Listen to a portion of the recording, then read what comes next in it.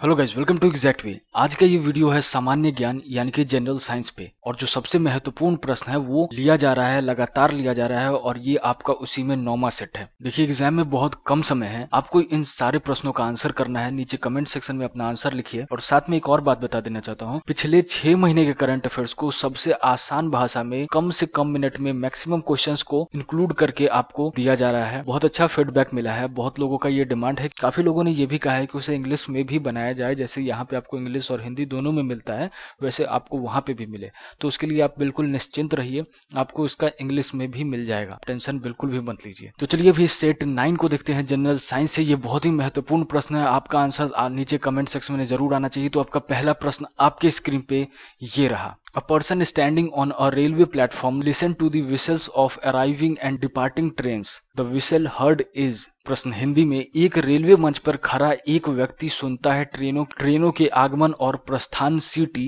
क्यों सीटी सुनाई देती है ऐसा क्यों होता है तो आपके ऑप्शन हैं A the same in both the cases in all respect मतलब दोनों मामलों में, सभी मामले में समानता। आपका ऑप्शन बी है। The whistle heard is of higher intensity when train arrives मतलब जो सीटी सुनाई देती है, वो उच्च तीव्रता के होते हैं जब ट्रेन आती है। आपके ऑप्शन सी है of higher pitch when train arrives मतलब उच्चतर पिच होता है जब ट्रेन आती है। आपका ऑप्शन डी है of higher pitch when train departs मतलब ट्रेन निकलती है तो पिच उच्चतर होती है। आपको अपना आंसर नीचे कमेंट करके बताइए। तो इसका सही आंसर है C of higher pitch when train arrives तो चलिए अब नेक्स्ट क्वेश्चन की तरफ़ बढ़ते हैं। अब ये बहुत ही इंपॉर्टेंट क्वेश्चन है। आपका दूसरा प्रश्न आपकी स्क्रीन पे ये रहा। Holography is a technique of holography किस चीज़ की टेक्निक है? आपके ऑप्शन है A recording a permanent sharp two dimensional black and white और मल्टी कलर फोटोग्राफ मतलब एक स्थायी त्रि आयामी, काले और सफ़ेद या बहु आयामी तस्वीर लेना या फिर B recording a permanent three dimensional multi colour photograph यानी कि रिकॉर्डिंग एक अस्थायी, त्रि आयामी, बहुयामी तस्वीर लेना।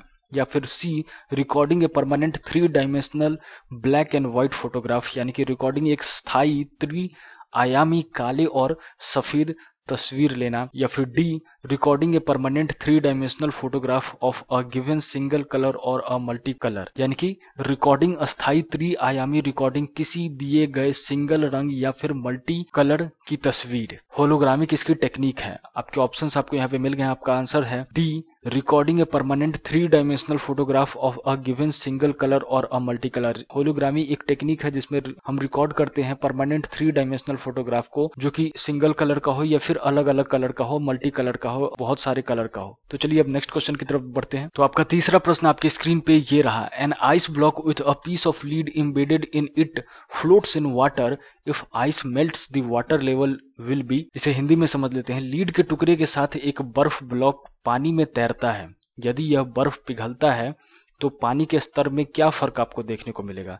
इसके ऑप्शंस हैं वाटर लेवल राइजेस यानी कि पानी का स्तर ऊपर बढ़ जाएगा। आपके ऑप्शन बी है वाटर लेवल फॉल्स यानी कि वाटर का लेवल जो है, पानी का स्तर जो है नीचे गिरेगा। आपका ऑप्शन सी है रिमेन सेम यानी कि समान रहेगा। D falls first and then rise पहले नीचे गिरेगा, फिर बढ़ जाएगा। तो आपको अपना आंसर ज़रूर बताना है। नीचे कमेंट करके बताइए आपका सही आंसर है बी फॉल्स यानी कि वाटर लेवल नीचे गिर देगा। तो आपका चौथा प्रश्न आपकी स्क्रीन पे ये रहा the velocity of heat radiation in vacuum is vacuum में गर्मी विकरण की गति क्या होती है? आपके ऑप्शन है A equal to that of light यानी कि प्रकाश के बराबर होती है B less than that of light यानी कि प्रकाश की तुलना में कम होती है, या फिर C greater than that of light यानी कि प्रकाश की तुलना में ज़्यादा होती है ग्रेटर होती है, या फिर D equal to that of sound, यानी कि ध्वनि के बराबर होती है। आपका सही आंसर है A equal to that of light यानी कि प्रकाश के बराबर होती है। तो चलिए अब नेक्स्ट क्वेश्चन देखते हैं। तो आपका पांचवा प्रश्न आपके स्क्रीन पे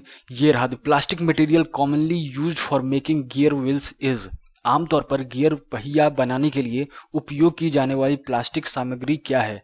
आपके ऑप्शन है A polyesters B nylons C Bakelite या फिर डी पॉलिस्टरीन इसका सही आंसर है बी नाइलॉन तो चलिए अब नेक्स्ट क्वेश्चन की तरफ़ बढ़ते हैं। तो एक से पाँच आपका फिजिक्स का क्वेश्चन था, छह से दस आपका केमिस्ट्री का क्वेश्चन रहेगा और उसके बाद ग्यारह से पंद्रह आपका बायो के क्वेश्चन रहेंगे। तो आपको इसी सेट में तीनों चीज़ की प्रैक्टिस अच्छे से हो जाएगी। तो चलिए अब नेक्स्ट क्वेश्चन की तरफ़ बढ़ते हैं। ये आपका छठा प्रश्न आपके स्क्रीन पे ये रहा। हु डेवलप्ड हाइड्रोजन बम ये बहुत ही इंपॉर्टेंट क्वेश्चन है, बहुत ज़्यादा इंपॉर्टेंट क्वेश्चन है। इसका आंसर सबके ज़रूर आने चाहिए। हाइड्रोजन बम किसने विकसित किया? आपके ऑप्शन है A Wernher von Braun B J Robert Oppenheimer या फिर सी एडवर्ड टेलर या फिर D Samuel Cohen hydrogen bomb का आविष्कार किसने किया? विकसित किसने किया? थोड़ा सोचिए, इसका सही आंसर है सी एडवर्ड टेलर ने. नीचे अपना क्वेश्चन नंबर लिखिए और अपना आंसर भी लिखिए. एग्ज़ाम बहुत नज़दीक है, एक तरीके से आपका ये मॉक टेस्ट है तो इसको उसी तरीके से लीजिए, गंभीरता से लीजिए। चलिए नेक्स्ट क्वेश्चन की तरफ़ बढ़ते हैं। तो आपका सातवां प्रश्न आपकी स्क्रीन पे ये रहा। When there are two electrons in the same orbital they have जब एक ही कक्षा में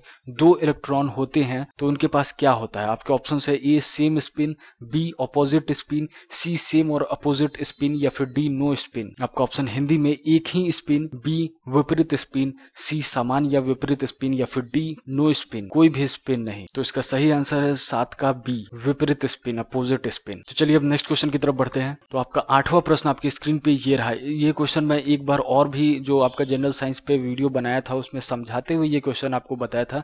आई होप अभी आप सबका सही आंसर निकले। Galvanization is the process of मतलब जस्तीकरण, एक प्रोसेस होता है, एक तरीका होता है किस चीज़ का? आपके ऑप्शन है A deposition of zinc on iron मतलब लोहे के बर्तन पर जिंक की परत या परत या जमाव। B deposition of tin on iron यानी कि लोहे पर टीन का जमाव, या फिर C deposition of copper on iron यानी कि लोहे पर तांबे का जमाव, या फिर D deposition of aluminium aluminium on iron यानी कि लोहे पर अल्यूमिनियम के जमाव। जस्तीकरण, यानी कि गैल्वेनाइजेशन क्या है? तो इसका सही आंसर है A deposition of zinc on iron iron के जो यूटेंसिल्स हो या फिर जो भी सामग्री होता है, उस पर जो आप जिंक का परत लगाते हो, जो आप अपने घर में देखते हो, आपका जो लोहे का गेट रहता है या फिर लोहे का आपका खिड़की पे जो आप जंगला लगाते हो, उसमें जो आप देखते हो, अस्तर करते हो आप थोड़ा सा ब्राउनिश रहता है, वो जो आप अस्तर करते हो, उसी को ही गैल्वेनाइजेशन कहा जाता है, वो एक जिंक का परत होता है, जो आयरन पे लगता है ताकि उसे रस्टिंग से बचाया जा सके, यानी कि जंग लगने से बचाया जा सके। तो चलिए अब नेक्स्ट क्वेश्चन की तरफ़ बढ़ते हैं। तो आपका नौवा प्रश्न आपके स्क्रीन पे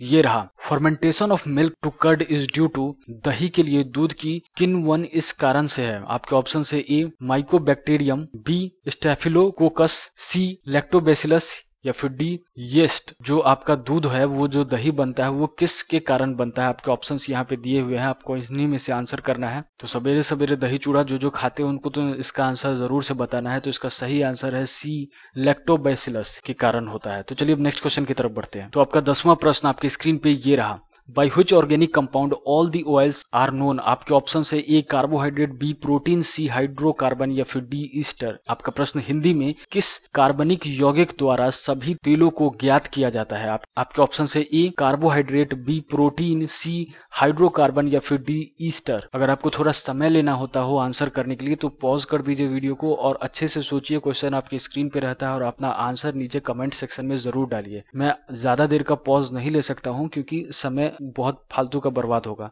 तो चलिए आप अपना आंसर नीचे कमेंट करके ज़रूर बताइए। इसका सही आंसर है सी, हाइड्रोकार्बन। अभी तक आपने फिजिक्स के देख लिए और केमिस्ट्री के देख लिए। अब आपको बायो के देखना है। ग्यारह से पंद्रह आपका बायो का क्वेश्चन है। तो ग्यारहवा प्रश्न आपके स्क्रीन पे ये रहा। In the eye colour vision is affected by presence of ये आपके एग्ज़ाम में भी आपको ज़रूर पता है कि रेलवे के एग्ज़ाम में कलर विजन को लेकर के बहुत बड़ा पंगा होता है। तो कलर विजन किसके कारण होता है? आँखों में किस चीज़ के प्रेजेंस के कारण होता है? वो ज़रूर समझ लीजिए, आँखों के, आँखों में रंग की दृष्टि किसकी उपस्थिति से प्रभावित होता है? आपके ऑप्शन है ए, क्रोआइड कोट के कारण, बी, स्केलोरेटिक कोट के कारण सी रॉड्स के कारण या फिर डी कोन्स के कारण। तो इसका सही आंसर है डी कोन्स चलिए अब नेक्स्ट क्वेश्चन की तरफ़ बढ़ते हैं। तो आपका बारहवा प्रश्न आपके स्क्रीन पे ये रहा। ये बहुत ज़्यादा इंपॉर्टेंट क्वेश्चन है। Which of the following is not one of the important steps in processing tea leaves कौन सा महत्वपूर्ण कदम नहीं है चाय की पत्तियों को संसाधित करने में? आपके ऑप्शन है ए रोलिंग बी ड्राइंग यानी कि सुखाना, सी फर्मेंटिंग यानी कि किन वन या फिर डी विदरिंग तो इसका सही आंसर है सी फर्मेंटिंग चलिए अब तेरवा प्रश्न आपकी स्क्रीन पे ये रहा। Dehydration in human body is caused due to the loss of मानव शरीर में निर्जलीकरण के कारण क्या होते हैं? आपके ऑप्शन है A vitamin B salt C hormones या फिर डी वाटर। आपको प्रश्न आपको इंग्लिश और हिंदी दोनों में दिया गया हुआ है। आप एक बार पॉज कीजिए, अच्छे से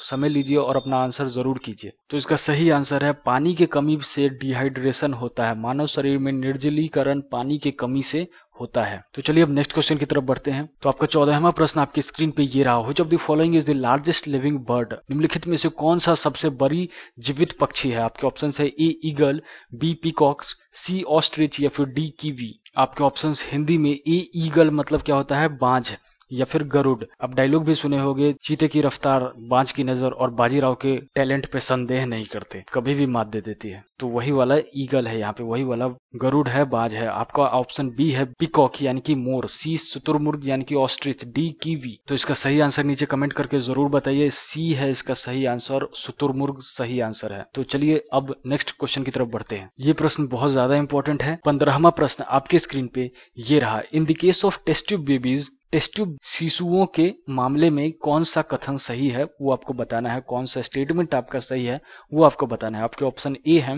Egg is fertilize in the uterus यानी कि अंडे को गर्भ में निषेचित किया जाता है। बी है embryo complete its development in the test tube यानी कि भ्रूण के एक प्रशिक्षण ट्यूब में अपने विकास को पूरा करता है। सी है embryo is replaced in uterus after two months यानी कि इम्ब्रियो को गर्भशय में दो महीनों के बाद रखा जाता है, या फिर आपका डी है egg is fertilize outside mother's body यानी कि अंडे को माँ के शरीर के बाहर निषेचित किया जाता है। टेस्टियो बेबी को लेकर के ये प्रश्न है बहुत ज़्यादा इंपॉर्टेंट क्वेश्चन है। इसका आंसर ज़रूर आप याद रखिए, बहुत बार क्वेश्चन ये पूछा गया है।